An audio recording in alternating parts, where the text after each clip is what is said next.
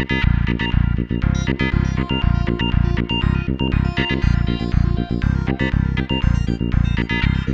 you.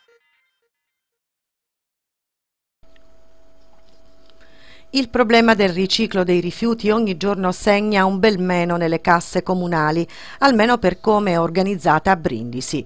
L'affare lo fa solo la ditta che provvede alla raccolta dei rifiuti per conto del comune, che la paga profumatamente ed invece non solo l'amministrazione potrebbe non pagare nulla, ma addirittura guadagnarci pure e proprio a seguito delle rimostranze fatte dal presidente della provincia Massimo Ferrarese sulla questione rifiuti, replica il consigliere provinciale del PDL Cosimo Ferretti che annuncia nuove ed importanti iniziative a partire dalla prossima settimana.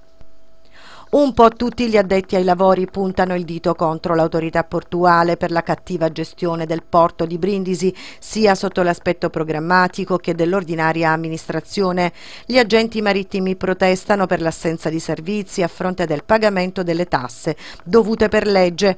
Qualcuno, come Teotiti, ha già spostato su Bari i propri interessi e le proprie navi. Di questo si è parlato ieri a Rebus, la trasmissione di attualità condotta da Renato Rubino. La replica oggi sul canale 116 di Puglia TV.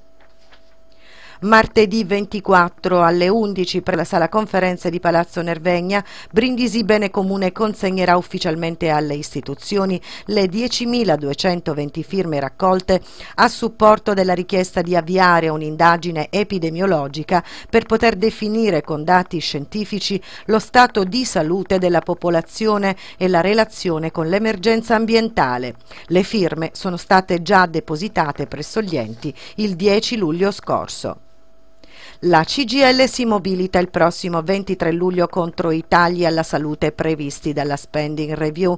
Anche a Brindisi a partire dalle 10 la CGL si mobiliterà con un volantinaggio presso gli ospedali, le fabbriche e le piazze, non solo per protestare contro i tagli ma soprattutto per diffondere le proposte alternative.